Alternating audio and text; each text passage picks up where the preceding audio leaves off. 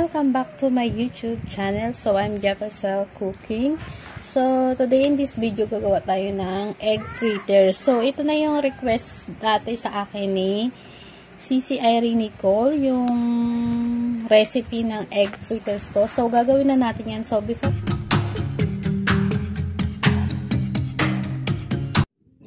So, ayun guys. Hello! so, Welcome ulit sa aking channel. So, nandito ako sa may kwarto kasi nga may ingay sa labas, may TV. So, makapiright naman tayo.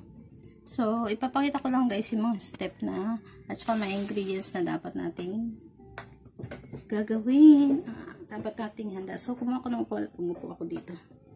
So, ayan, meron tayong cornstarch. Kailangan natin yan para sa ating egg chicharon. Meron tayong Ayan. Pack ng harina, anong flour, ayan. Siguro mga 5 pesos or 10 pesos ang ano nito, ang isang pack. So, kailangan din natin ng magic sarap, pero isa lang yung kailangan natin dito. Tapos, meron tayong ground black pepper, ayan. At meron din tayong 6 eggs. Kasi maraming lulutuin tayo ngayon. Marami na yan guys. So, simulan na natin ang ating mga step na dapat gawin. So, una, i-crack natin yung egg. So,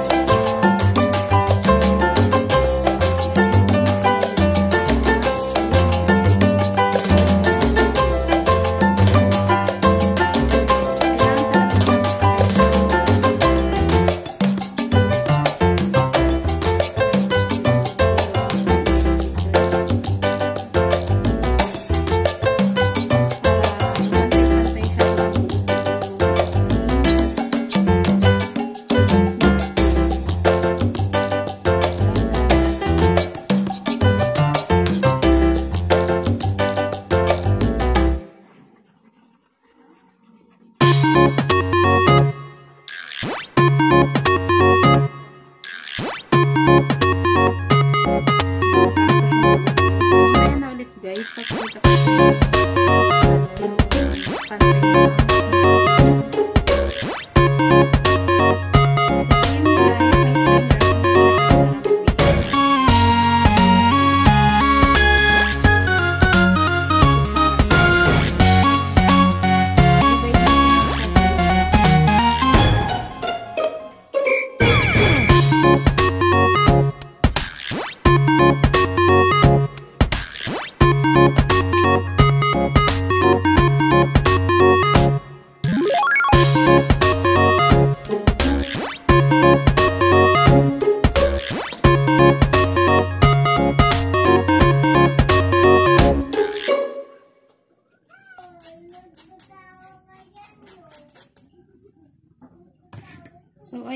guys, na-divide ko na siya sa dalawa. Ang tapos niyan eh,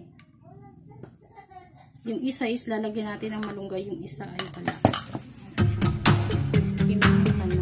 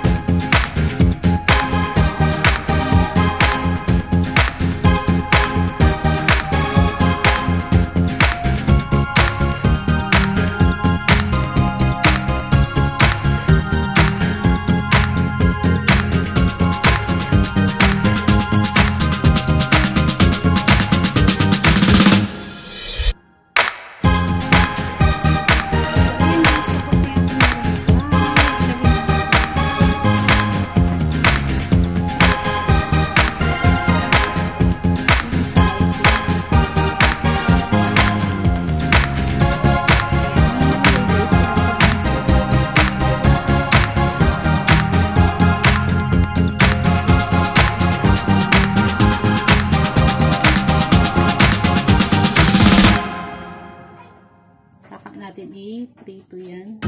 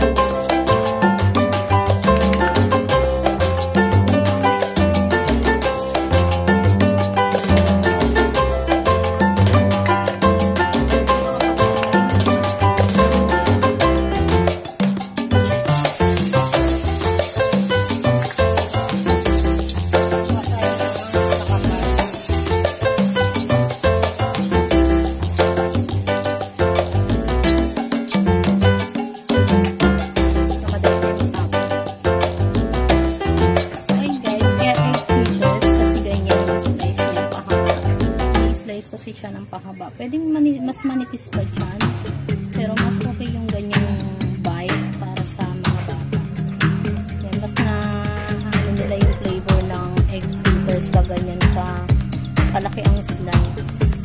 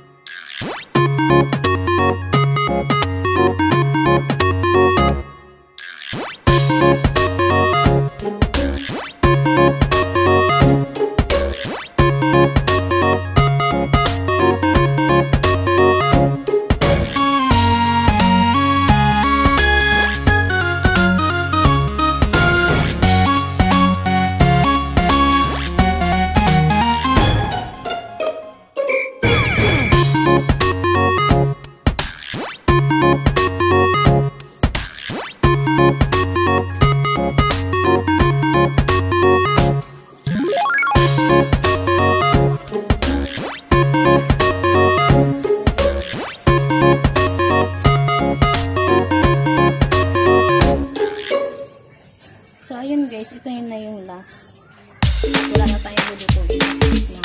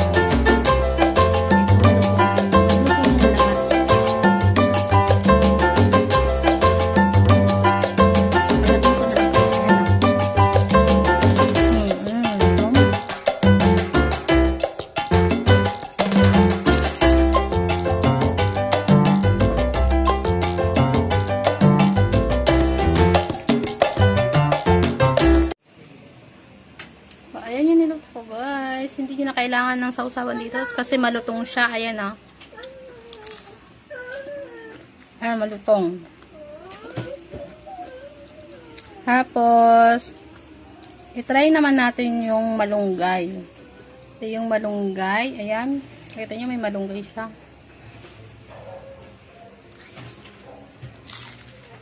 Mm. Ito yung loob niya guys. Oh. Grabe yung ibag ko, ano. So, ito yung guys, yung malunggay and ano, malunggay egg fritters. So, yung aking recipe ng egg fritters. So, minsan nyo lang ito lutuin kasi maano siya sa masyado siyang oily. So, nakita nyo naman, masyado siyang shiny. shiny sa, lalo sa Tesla po, ayan. Hmm? Ah, diba, matutong? So, ayun guys, kain na na. Kain ng mga bata. Kasi tapos na akong i-flex sila.